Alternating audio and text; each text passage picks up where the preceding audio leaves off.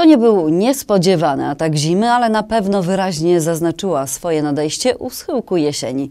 W weekend śnieg wymalował w naszym otoczeniu zimowy plakacik. I choć w poniedziałek śniegowe krajobrazy przypominały już raczej scenerię wczesnowiosennych roztopów niż bajkową świąteczną aurę, kto zdążył ulepić bałwana może uznać sezon zimowy za oficjalnie rozpoczęty.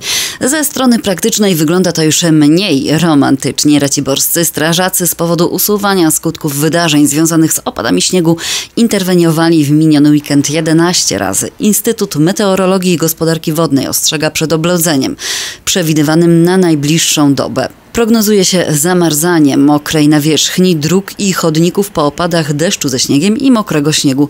Temperatura minimalna będzie wynosić minus 1 stopień, a przy gruncie około minus 2 stopni. Zalecamy więc bardzo ostrożne stąpanie po śliskim gruncie i uważną jazdę za kierownicą. Jeżeli jest Wam zimno, szczerze radzimy rozgrzewać się gorącą herbatką z imbirem i nie sięgać po napoje wyskokowe.